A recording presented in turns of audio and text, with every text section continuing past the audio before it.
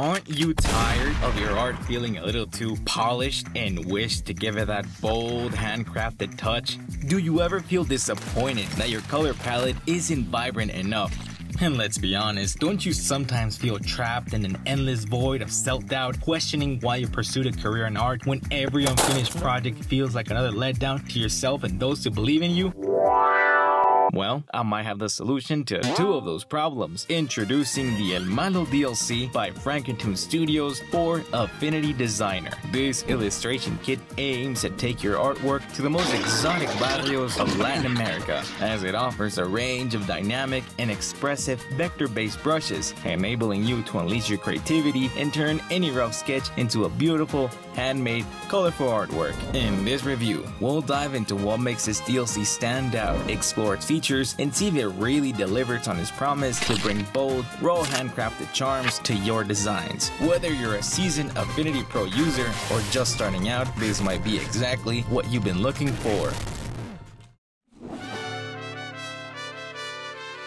This DLC was created by Enrique Figueroa, better known online as Frankentoon, and El Salvador-based artist and longtime Affinity collaborator since 2016. Frankentoon's energetic color choices, masterful use of shapes, and attitude-filled characters have captivated me ever since I first encountered his work in the Affinity tutorial Toxic Land, creating characters with Frankentoon on April 25, 2018. That article wasn't just a guide, it was an invitation to create lively cartoon characters and expressive worlds using the Affinity Suite. Unfortunately, I did not take the invitation at the time. Instead, I stuck with my tumultuous relationship with the Adobe Suite, despite already owning most of the Affinity software. Add in endless hours of schoolwork and far too many hours playing Fallout New Vegas, and my aspiration to create like Frankentoon slowly faded away. Fast forward to July 2023. After a long hiatus from drawing and using Affinity, I stumbled upon the El Malo illustration kit.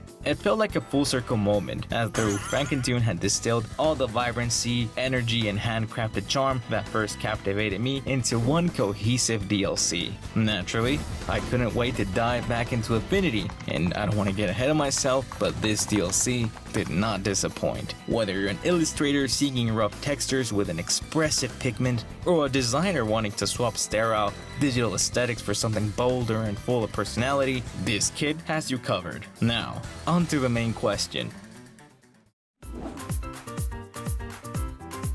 For $24, this massive DLC includes a whopping 130 vector brushes, 42 colored textures, 2 color palettes, and 1 video tutorial, which you can find on YouTube but don't tell anyone. One PDF file that serves as a guide for all the Affinity brushes and texture styles, and four stunning illustrations created by Frankentoon Studios, all made using the tools from this illustration kit. Upon a closer look, the 130 vector brushes in this kit are organized into five distinct categories. First, you have 32 engraving brushes, perfect for adding multiple rough lines with a single stroke. 34 hatching brushes, ideal for creating cross hatching effect and adding depth. 22 liner brushes, great for rough, single and precise lines, whether for outlines or for details. Then you have 24 stipple and shade brushes, perfect for adding subtle shading and texture through dot and line patterns. And then you have 18 weight line brushes, designed to provide variable line thickness for more dynamic strokes. When it comes to the 42 colored textures, they're divided into two sections. First you have the El Malo color palette,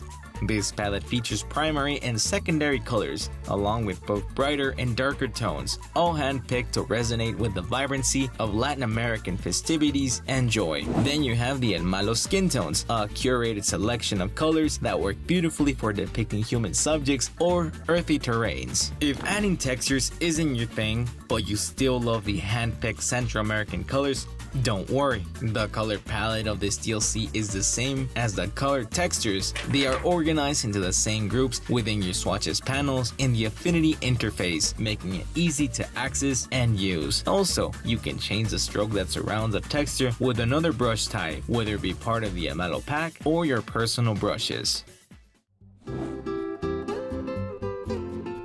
If you decide to acquire this pack, you can do so either through the official Frankentoon store or the main Affinity website. Just make sure it's not through Etsy. and the PDF guide, Frankentoon explicitly mentions we don't sell any products on Etsy.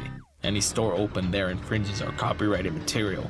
Any product purchased through Etsy doesn't contain a valid usage license. Speaking of licenses, I genuinely appreciate that once you purchase this product, you're free to use its assets for both commercial and non-commercial projects, with no limits on how many times you can download and utilize this DLC. This DLC is composed of 9 main files, 5.af brushes files. These are your brushes, 2.af styles files. These are your affinity layer styles, which influence the look of layers or shapes. Then you have 2.af palette files. These contain the two sets of color groups. When it comes to compatibility, the El Malo illustration kit is fully compatible with Affinity versions 1 and 2 for Windows, Mac, and iPad. Whether you're using Affinity Photo, Designer, or even Publisher to some extent, this kit works across the board, giving you creative flexibility no matter your platform. That said, I won't dive into a detailed installation instructions in this video, as I like to focus on the features and creative possibilities of this DLC. However, if you're new to Affinity Designer or need guidance, I've included links to official tutorials and helpful resources in the description. If you would like a detailed installation guide for installing DLCs in the Affinity Suite, let me know in the comments below.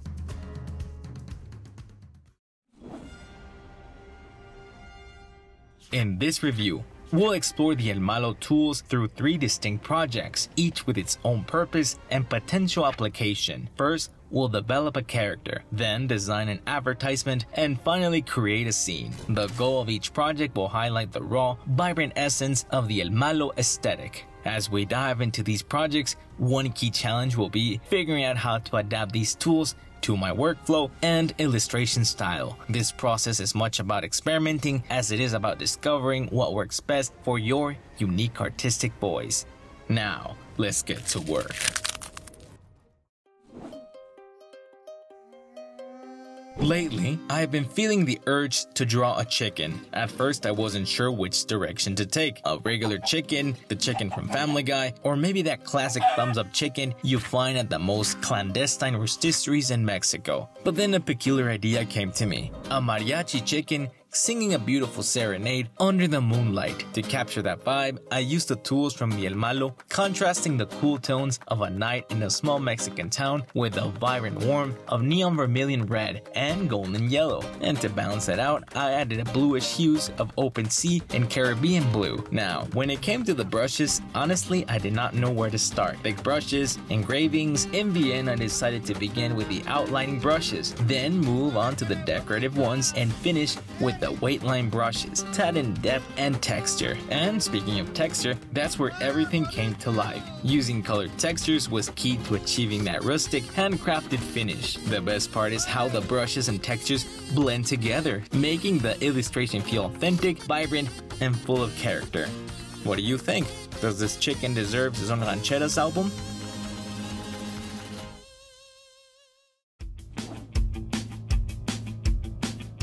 I'm not gonna lie, the cover art for the El Malos DLC left me with an overwhelming urge to draw wrestlers. But not those polished, high production ones, rather the ones you find in Mexico, the ones who go all out with exaggerated suits and vibrant colors. So naturally, I ended up drawing the Lucha Libre poster announcing the mortal showdown between a Green Martian versus an anthropomorphic axolotl. El Malo's color palette made the whole process flow like water. The vibrant tones fit perfectly with the style of these posters, and even though I got carried away using a ton of colors, there is a balance between them. They contrast well both close and from a distance. And the best part is, whether you use light or dark tones, the DLC's textures always help tie everything together visually. For the brushes, I wanted to highlight the dot and decorative brushes because they give that raw, handcrafted touch so characteristic of Lucha Libre posters. Plus, the flexibility of these brushes is incredible. They adapt perfectly to outlines and respond very well to any adjustments. As for text, I had no trouble integrating it with the DLC's textures.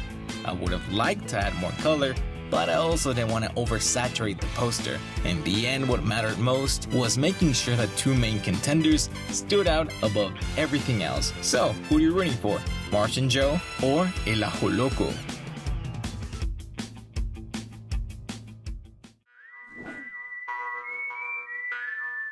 Lately, I don't know why, but I have the melody of Hidden Village from The Legend of Zelda Twilight Princess stuck in my head. Maybe because of the weather has been pretty dusty where I live, so naturally I ended up wanting to draw something from the Wild West. And what's more western than a cactus? A sheriff in a little dusty town. Well, I decided to combine them all into one illustration to see how the El Malo DLC adapts to this style. This time, I dared to step away from the vibrant colors that I usually go for and opted for more muted, earthy tones, which are characteristic of this kind of setting. El Malo's skin tone palette turned out out to be perfect for this, and the colors I used were mostly vivid blush, pale blush, and apple green for the nameless cactus. As for the brushes, I mix singular outlining brushes with dotted shadow brushes. What I love most is how versatile they are in terms of thickness, making them ideal for both subtle details and more expressive strokes. They weren't just the key to adding texture and depth to the main subject, but they also helped to keep the background from feeling flat.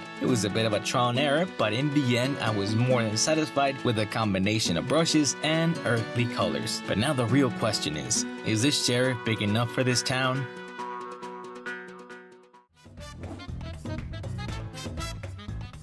After completing these illustrations and familiarizing myself with most of what this DLC has to offer, it is time to define the pros and cons. Pro large variety of brushes. The sheer variety of brushes in this DLC is fantastic. Whether you're working on a current or future project, there's always a brush to help you bring your vision to life. Plus, since they're vector based, you can scale them to any size without losing any quality. Con overwhelming selection. While the range of brushes is impressive, it can also be a bit overwhelming. With so many options, it's easy to feel like you're not using them to their full potential. Some brushes sometimes feel very specific, and if you're not working on texture strokes, you might not get around them anytime soon. Pro.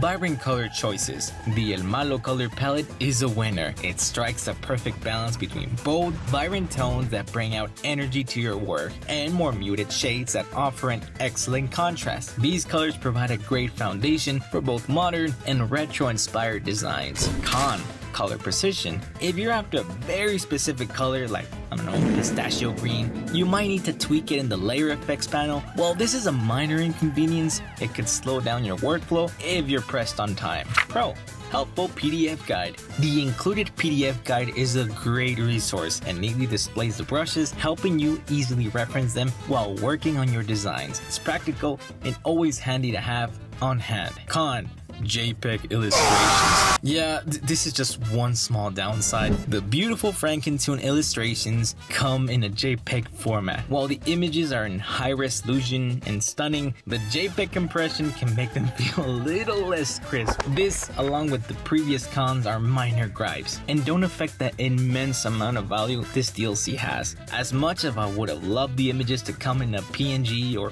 PDF format, I'm thankful they're not in a WebP format.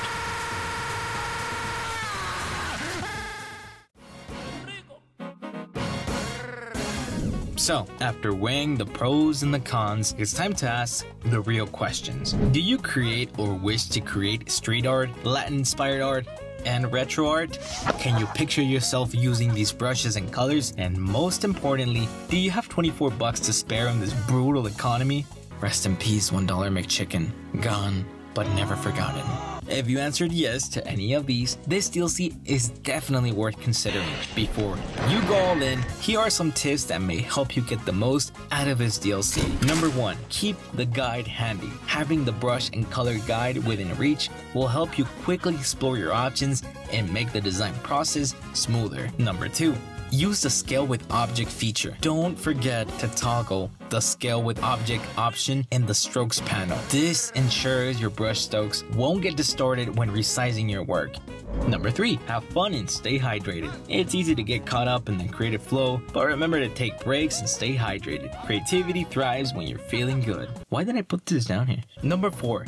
Creating custom colors. Want to craft a specific color for your texture? Start with a white cool gray or choose a color that is close to your desired shade. Then use the layer effects panel to add a color overlay. Change the color black to your desired color and then tweak the opacity and blend mode. And once you're happy, reproduce the texture color with the style picker tool to use across other layers that share the similar color. Number 5. Experiment with layered copies. When testing out different strokes and brushes, make layered copies of your subject. This way you can compare and contrast different looks to find what works best for you.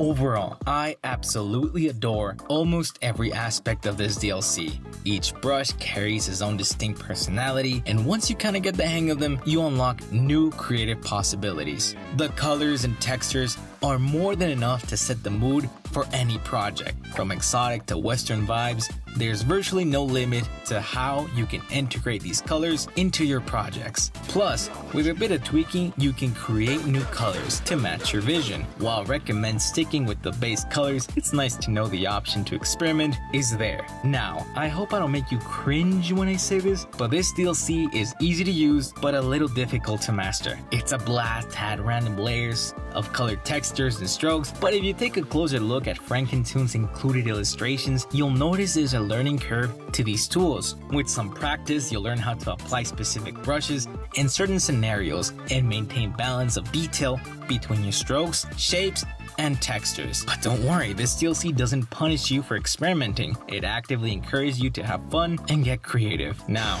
let's talk value. For $24, you're getting 130 brushes, 42 textures, and custom borders, 42 swatches, and a helpful PDF guide, a total of 215 items. That's just 11 cents per piece. And if you catch it on sale, it often goes for $12 during seasonal discounts on the Affinity Web Store. You're getting an absolute steal at 6 cents per item. Final rating 9.9 cloudy stars out of 10. I really can't find any flaws with this illustration kit aside from the gorgeous illustrations formatted in JPEGs. This DLC is a perfect for anyone looking to explore a new style, have fun creating, or even those ready to ditch Adobe Illustrator and dive into Affinity Photo or Designer. Screw you, Adobe. Not you, CS6. You're still cool.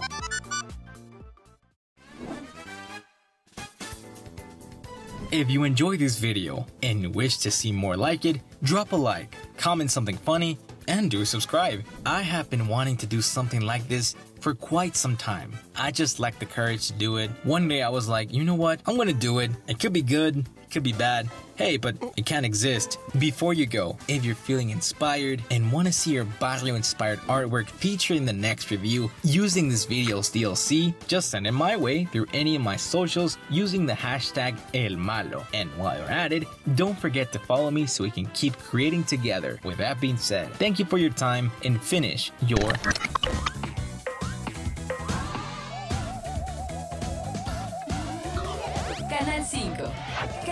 lleva contigo. Tengo una gran idea. Ahora Dexter y Domino's Pizza presentan los Domino's Lana. Recórtalos de las cajas y júntalos. Tengo el dominio del tiempo y la música. Cambia tus Domino's Lana por los relojes y el portacidis de Dexter. ¡Qué gran invento, ¿no?